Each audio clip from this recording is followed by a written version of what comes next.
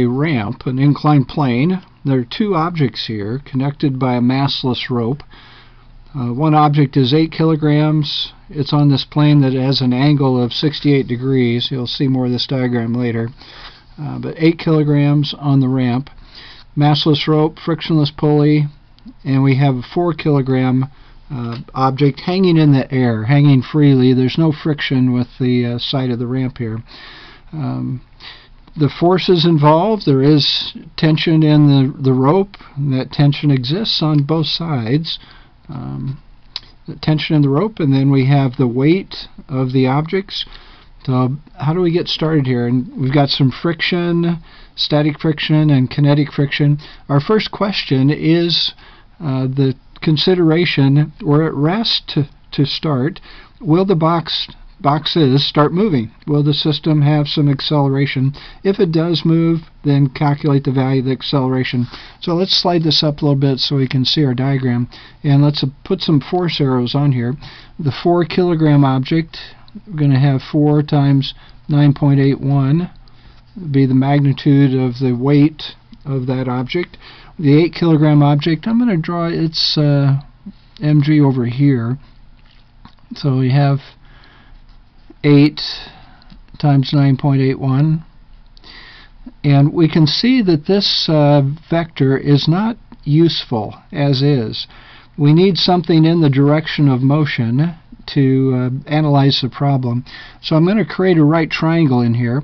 The mg for this object on the ramp is always the hypotenuse of the right triangle that you draw. And that means I need the right angle up here and there's our right triangle. And this portion of the right triangle um, I'll draw it out here um, is going to be a component of mg well what trig function and what angle do I use to calculate that? Um, 68 degrees here. You should do your own little kind of work here. And this if I would create a right triangle coming down here then I'd have 22 degrees up at the uh, top another right angle here so I'd have 68 degrees inside. The and this will always be true. The angle at the top of the triangle that you draw if you draw it this way the angle at the top of the triangle you draw will always be equal to the ramp angle. And by this way I mean I have one leg perpendicular to the ramp I have another leg of the triangle that's parallel to the ramp. So 68 degrees for that angle. And that's going to be we want the opposite side to that angle. So I'm going to have the sine of the theta in general. In this particular problem it's going to be 8 times 9.81 times the sine of 68 degrees. So I'm going to go ahead and write that up here. So that's the force down the plane. Force due to weight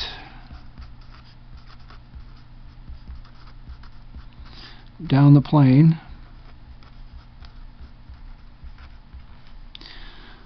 So 8, 9.81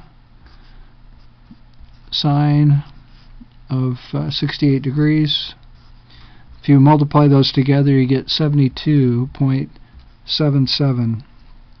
That's the component of mg acting down the plane. It's uh, not aided but opposed by this force. This mg would like to pull the system with a box down the ramp. This mg would like to pull the system this way and the rope would carry the 8 kilogram box up the ramp. And how strong is this? Well 4 times 9.81 is 39.24 newtons. So on just that consideration, this force is going to succeed in moving the system. But we're not done. There's also friction in this problem. And to calculate the force of friction, I use the static coefficient. We're not moving at the start of this problem. We might move later, but the force of friction is going to be the static coefficient used here and I write less than or equal. You should do a little reading on this. The static friction force is a force that just you get as much as you need. uh, up to some point. The limiting maximum point is uh, the coefficient of friction times the normal force. By normal force, we need we mean the force that's pushing on the box from the ramp. So that's going to be out this way, and it's equal to the force in this leg of the triangle. mg, you have to kind of squeeze it in here, cosine theta.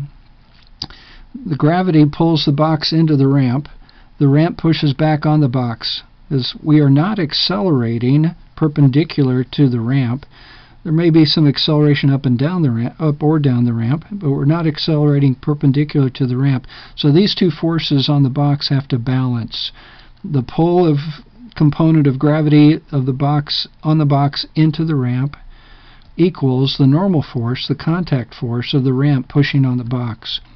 Uh, so let's go and calculate the max static friction force we have.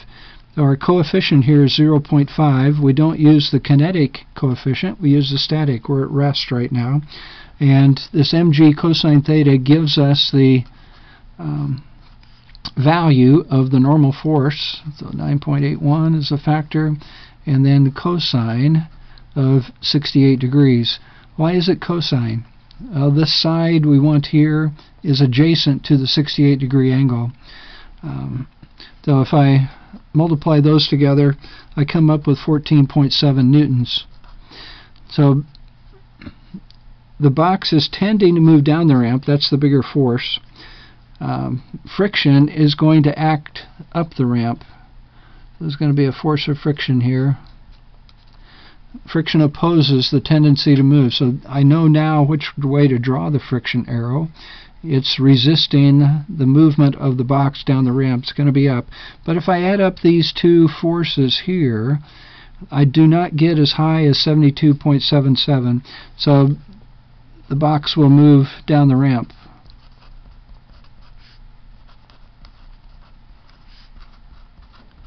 So now we need to calculate the acceleration. Well, to calculate the acceleration, I need the net external force equals mass times acceleration. I'm going to do the whole system here, uh, both boxes, the rope, and find the net force, external force in that situation. Total mass is going to be 8 plus 4 kilograms, and we'll calculate the acceleration. Now, something I prefer to do is only consider external forces it's gravity, the weight due to gravity. Friction is an external force on the system. The tension is inside the system. It's in this rope that connects the two boxes. So you will not see me put the T symbol in this Part A calculation. I'm going to use it later. Um, but let's think about what forces we have here. We have the 72.77 down the ramp. I'm going to call that the negative direction. So that's going to be minus 72.77 newtons. Um, and in the opposite sense of direction, we've got the 39.24 newtons. These two forces are opposing in their action on the system. So one has to have a minus, one has to have a plus. It doesn't matter which one you give plus and which one minus, but they must have different signs. Uh, you might decide to do down the ramp as the positive direction. That's fine. And now we also have the force of friction. Should I use 14.7 newtons? And the answer is no. We have to now use the kinetic friction calculation, which means a different coefficient. The normal force will be the same, but we have to use 0.4 instead of 0.5. So I'll leave, leave it to you to do that. 0.4 times 8 times 9.81 times cosine of 68 degrees. You should get 11.76 newtons. So there's our net force, external force. We're ignoring tension, it's internal. We have 72.77 newtons pulling this way. Friction is opposing that. This weight is opposing this motion. The total mass is 12 kilograms and then we have our acceleration to be calculated. So we've got newtons for those three forces, kilograms here. We get meters per second squared for acceleration. Combine these numbers, divide by 12, And you should find the acceleration is minus 1.81 meters per second squared. The acceleration is down the ramp for this box. The acceleration is vertically upward for the 4 kilogram object. Um, so there's acceleration. There are three forces to consider. The component of weight due to gravity for the 8 kilogram box, the weight of the 4 kilogram box, the friction, kinetic friction value, those form our net force. Now our next question is calculate the tension in the rope. And to do this, I'm going to isolate just the 4 kilogram object. Now the tension is external to my object of interest here. So we have the 4 kilograms times 9.81, 39.24 newtons downward, tension upward. I'm going to work this problem with plus being the up direction, so that'll be a minus. Again, F equals ma. For this system, tension, minus 39.24. Tension's in the positive direction, so I leave that a plus. The mg is downward, so that comes in as a subtraction. What's the total mass of this system? 4 kilograms and we have the acceleration, is it minus 1.81 or is it plus 1.81? It's plus 1.81 because the system is accelerating upward. The box on the ramp is winning the tug of war, so to speak. So the 4 kilogram box is accelerating upward. This is the acceleration value for the 8 kilogram box. It's negative, going down. The 4 kilogram box is moving upward, so it's a positive number. This is very important to get it correct here, whether this is plus or minus. And you may want to prefer to work some more examples, but another way we can tell if we're right or wrong, multiply these two together, add 39.24 to both sides, and we get 46.5. Is that a reasonable number? 46.5 newtons. And the answer is yes this 4 kilogram box is accelerating upward. In order for this box to move upward, the tension force must be bigger than the weight. This tension is doing two things, really. It's supporting the weight, and then the leftover force, roughly 7 newtons, is accelerating the object. So the tension upward has to be larger than the mg downward if the box is accelerating upward. A different problem, uh, the box hanging in the air may be the dominant force and the box on the plane slides upward. Uh, then this would be a minus in here, whatever that acceleration value is. But you ought to use some uh, analysis of the concept here. This box is accelerating upward. The tension has to be bigger than the mg. So there we are with the inclined plane using with friction. We had to uh, break the mg for the box on the plane into two components. A component parallel to the plane, that's the force of gravity acting down the plane, and a component perpendicular to the plane, that provided us the normal force. So I hope you uh, do some more practicing on that. Ask your instructor some questions.